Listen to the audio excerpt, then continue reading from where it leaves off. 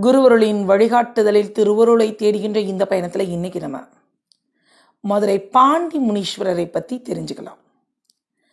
மதுரையில் பிறந்தவங்க மதுரைக்கு பிழைக்க வந்தவங்க எங்கள் பாண்டி முனீஸ்வரரை தெரியாமல் இருக்கவே மாட்டாங்க. அவ்வளவு துடியான சாமிங்க. பக்தி ரொம்ப ரொம்ப வித்தியாசமான உணர்வுகளை நமக்கு தரும். கடவுளை தாயா தந்தையா நண்பனா பார்க்குற அளவு நம்மளை கடவுள்கிட்ட நெருங்க வைக்கும். அந்த மாதிரி பாண்டி முனீஸ்வரர்கிட்ட பக்தி செலுத்துகிற மக்கள் எவ்வளோ பேர் இருக்காங்க தெரியுமா? எப்படி இருக்கார் எங்கள் பாண்டி முனீஸ்வரர்? உள்ளுக்குள்ளே கோயில்லையும் போய் அவரை பற்றி நிறைய தெரிஞ்சுக்கலாம். ரொம்ப சுவாரஸ்யமான கதைகளும் உண்டு. அவர்கிட்ட அற்புதங்களை அனுபவித்த மக்களும் உண்டு. இந்த மதுரை எம்பதியில் யோக நிலையில் நிஷ்டையில் இருக்கார்ல எங்கள் பாண்டி முனீஸ்வரர். வாங்க நம்ம இப்போ கோயிலுடைய தல வரலாறை தெரிஞ்சுக்கலாம். பாண்டியே நீ என்ன செய்வியோ தெரியாது. என்னோட கோரிக்கை நீ சீக்கிரமாக நிறைவேற்றணும் அப்படின்னு உரிமையோட சாமிக்கிட்ட கட்டளை போடுற மாதிரி விரும்பி பக்தி செலுத்துகிற மக்கள் நிறைய பேர் இந்த பகுதியில் இன்றைக்கும் இருக்காங்க. அடிக்கடி சாமி என் கனவுல வந்து வாயா இன்னும் வந்து என்னை பார்க்காம இருக்கிய? வா அப்படின்னு சொல்லுதுன்னு சொல்லி சாமிக்கு அவங்களால முடிஞ்ச பூவோ இல்லை பன்னீரோ சந்தனத்தையோ கொண்டு வந்து அர்ப்பணிக்கிற நிறைய மனிதர்கள் இங்கே இருக்காங்க. கடவுளோட அருளை பெற சடங்குகள் ஒரு தரையாக இருந்துடவே கூடாதுங்க. நம்ம விரும்புகிற வழியில் கடவுளோட அன்பை பெறலாம். அப்படிங்கிற உயர்ந்த தத்துவத்திற்கு உதாரணம் என்ன தெரியுமா? இந்த மாதிரி வழிபாடு தான். சாதாரண பாமர மக்கள் கூட நெருக்கமாக பாண்டிசாமி கிட்ட பக்தி செலுத்துறதுனால தான் எனக்கு பாண்டிசாமியை ரொம்ப ரொம்ப பிடிக்கும். வாங்க இன்னும் அவரை பற்றி என்னென்ன மாதிரியான கதைகளும் சரி வரலாறும் சரி இருக்குதுன்னு தெரிஞ்சுக்கலாம். மதுரை வடக்கு பகுதியில் இருக்கக்கூடிய மேலமட பகுதியில் இருக்கிறது தான் பாண்டி முனீஸ்வரர் கோயில். பாண்டி பற்றி மதுரை மாவட்ட மக்கள்கிட்ட நிறைய விஷயம் இருக்குது பல செவி வழி கதையும் இருக்குது அதில் சிறுவர்களை மிரள வைக்கக்கூடிய பிரசித்தி பெற்ற கதை ஒன்று இருக்குங்க. வீட்டுக்கே அடங்காத பிள்ளையா வளர்ந்த பாண்டி. நாலாவட்டத்தில் யாருக்கும் அடங்காத அடக்க முடியாத மனிதராக மாறார் ஆனால் அநீதியை கண்டா ஆக்ரோஷத்தோட பாயிறார். இப்படி வாழ்ந்த பாண்டி இறந்த பின் ஒரு குடும்பத்தோட குலதெய்வமாக மாறார் இன்று தென் மாவட்ட மக்களோட இஷ்ட தெய்வமாயும் இருக்கார். இப்போது கூட பாண்டி சிலைய குழந்தைங்க பார்த்தா பயந்து போகும். சும்மா முடி அப்படி உருட்டிக்கிட்டு முறுக்கிய மீசையோட அப்படி கோவப்படுற மாதிரி இருப்பார் நம்ம பாண்டி முனி. எப்போ வேண்டுமானாலும் ஆக்ரோஷத்தோட கிளம்பிடும் அப்படிங்கிறதுனால தான் இவரோட இந்த ரூபத்தை இரும்பு சங்கிலியால் கட்டி போட்டிருக்காங்க. அப்படின்னு சொல்லுவாங்க. சுமார் இரநூறு வருஷத்துக்கு முன்னாடி வள்ளியம்மாள் பெரியசாமி தம்பதியினர். கரூர்லேருந்து இந்த மதுரை எம்பதிக்கு வராங்க. வழியில் ரொம்ப இருட்டுனதுனால மாட்டுத்தாவணிக்கு பக்கத்தில் இருக்கக்கூடிய மானாகிரியில் தங்குறாங்க. அப்போ தங்கினப்ப நம்ம வள்ளியம்மா கனவுல ஒரு முனிவர் தோன்றி நான் மதுரையை ஆண்ட பாண்டிய நெடுஞ்செழியன். கண்ணகியின் கணவன் கோவலனுக்கு அநீதி இழைத்த பாவத்துக்காக மறுபிறவி எடுத்துள்ளேன். அந்த பாவத்தோட நிவர்த்திக்காக இந்த இடத்துல ஈசனை நோக்கி எட்டடி மண்ணுக்குள்ளே தியானம் செஞ்சிட்ருக்கேன். என்னை மீட்டு எடுத்து வழிபட்டால் உன் குடும்பத்தையே நான் வாழ வைப்பேன் அப்படின்னு சொல்லி கூறி மறைகிறார். அதனால ஊர் பெரியவங்கெல்லாம் ஒன்று கூடி வள்ளியம்மா கனவுல சாமி சொன்ன இடத்த தோண்டி பார்த்தா அங்கே மிரட்டுற வழியாக முறுக்கிய மீசையாக அடர்ந்து நீண்ட ஜடாமுடியோட சுவாமி சிலை சம்மணமிட்டு தவக்கோலத்தில் கிடைக்குது. அந்த சிலையை வெளியே எடுத்து வச்சு கும்பிட தொடங்கினாங்க. அப்படி பாண்டி முனீஸ்வரர் ஒரு தடவை நேரில் காட்சி தந்து நான் வெயிலில் காயிறேன் மழையில் நனைகிறேன் அப்படின்னு சொல்லியிருக்காரு. அடுத்த நாளே பண ஓலையால் குடிசை அமைச்சு அங்கு பாண்டி முனீஸ்வரரை பிரதிஷ்டையை செஞ்சு வழிபட ஆரம்பிக்கிறாங்க.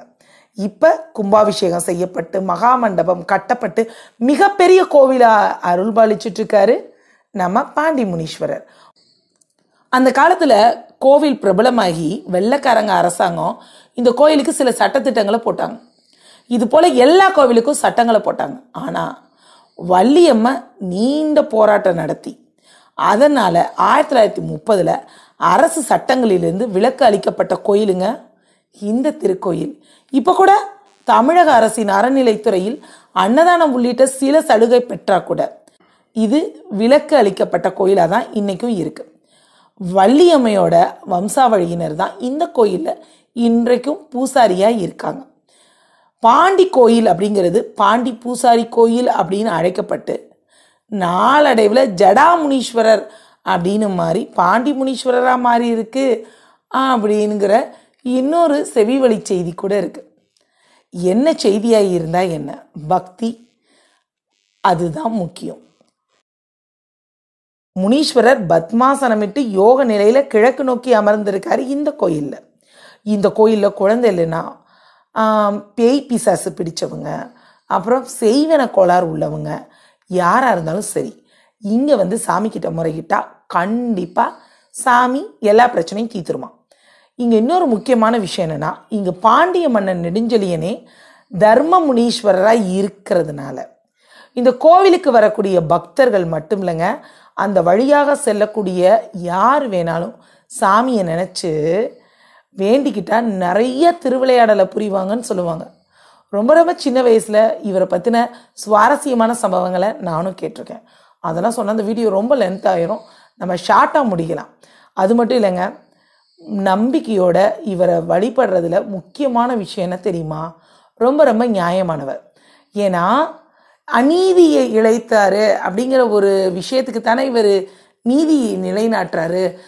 எங்கேயாவதும் தவறுதலான தீர்ப்பு வழங்கப்பட்டாலோ இல்லை நிலத்தகராறு ஏற்பட்டாலோ நேர பாண்டி முனீஸ்வரர்கிட்ட வந்து ஒப்படைச்சா போதும்.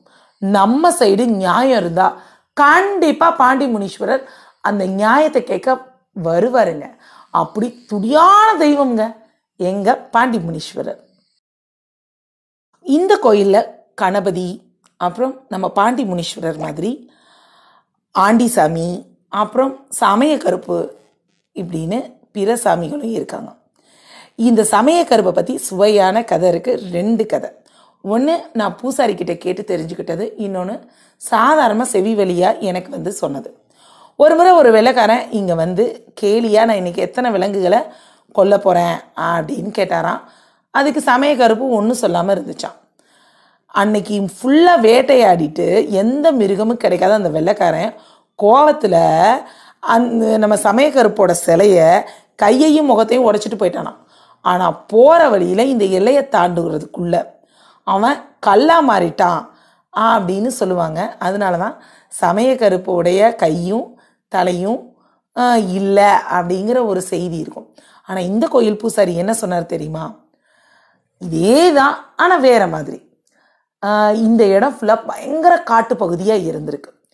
அந்த ஒத்தக்கடையை தாண்டி ஆனமலைன்னு ஒரு இடம் இருக்குது அந்த ஆனமலையில் வேட்டையாடுறதுக்காக வெள்ளைக்காரன் போயிருக்கான். போகும்போது சொல்லியிருக்கான் இங்கே பார் எனக்கு இன்றைக்கி வேட்டையாடுறதுக்கு ஏதாவது கிடைக்கணும். எதுவும் கிடைக்கல உன்னை வந்து வெட்டிடுவேன் அப்படின்னு சொல்லிட்டு போயிருக்கான். அன்றைக்கி அவனுக்கு வேட்டையாட எதுவுமே கிடைக்கல. பயங்கர கோபத்தோடு வந்து கருப்பசாமியோட தலையையும் கையையும் சிதைச்சிருக்கான். அதை பார்த்த உடனே அடுத்த நொடி நடுவில் நம்ம இப்போ நீங்கள் பார்த்தீங்க இல்லையா ஆண்டிசாமி அவர் அப்படி பூமிக்குள்ளேயே டக்குன்னு போய் பாண்டிசாமி கிட்ட போய் சொல்லியிருக்காரு. இந்த மாதிரி ஒன்றுமே இல்லாமல் நம்ம காவ தெய்வத்தை அவன் இந்த மாதிரி செஞ்சுட்டு போயிருக்கான் அப்படின்னு சொல்லியிருக்காரு. சொன்ன உடனே அநீதி இழைச்சிட்டான்ல தேவையா அவனுக்கு அந்த வெள்ளைக்காரனுக்கு? அந்த அநீதி இழைத்ததுனால பாண்டிசாமி இந்த இலையை தாண்டதுக்குள்ள அவனை வந்து வெட்டிட்டதா பூசாரி சொன்னார். அதனால தான் ஆண்டிசாமியோட உருவம் இல்லை இன்றைக்கும் அவர் மண்ணுக்குள்ளே தான் புதஞ்சிருக்காரு அப்படின்னு சொன்னார். இந்த மாதிரி சுவாரஸ்யமான நிறைய கதைகள் இருக்குங்க. இந்த இடத்துல ஆண்டி ஐயாவுக்கு இனிப்பில்லாத பொங்கலும் பாண்டி ஐயாவுக்கு சைவ உணவும் இருக்கும். ஆனால் நம்ம சமய கருப்பு மிருக பலியோட கல் சுருட்டு எல்லாத்தையும் வாங்கிக்கும். இதுதாங்க பாண்டி முனீஸ்வரரை பற்றின சுவாரஸ்யமான விஷயங்கள். செவி வழி கதையா வரலாறா அப்படிங்கிறது தெரியாது. உண்மையிலேயே யோக நிஷ்டையில் அவரை பார்த்தாலே பிரமிப்பாக இருக்கும். ரொம்ப சின்ன வயசில் அவருக்கு பயந்து நம்ம எந்த தப்பெல்லாம் பண்ணக்கூடாது. பாண்டி முனிசாமி நம்மளை எதாவது பண்ணிரும் அப்படிங்கிற பயத்திலேயே நல்ல விஷயங்களை கற்றுக்கிட்டு நல்ல வாழ்க்கை வாழணுங்கிற ஒரு எண்ணம் அப்போ ஏற்பட்டுச்சுன்னா இந்த வழிபாடு தனித்துவமானது தானே? இப்போயும் தான். எனக்கு இந்த கோயில் ரொம்ப ரொம்ப பிடிக்கும். எப்போயாவதும் எப்பயாவதும் தான் நாங்கள் மதுரைக்கு போகிறோம் அப்போ போகும்பொழுது கண்டிப்பாக நம்ம பாண்டி முனியையோ இல்லை மணப்புறம் காளியையோ இல்லை வண்டியூர் மாரியம்மனையோ பார்த்துட்டு போகிறது ஒரு வழக்கமாக இருக்குது இந்த மாதிரி கிராம தெய்வங்கள் குலதெய்வங்கள் ரொம்ப ரொம்ப சுவாரஸ்யமான ஒரு வரலாறையும் கதைகளையும் வருங்காலத்தில் நம்ம தெரிஞ்சுக்கலாம். நன்றி வணக்கம்.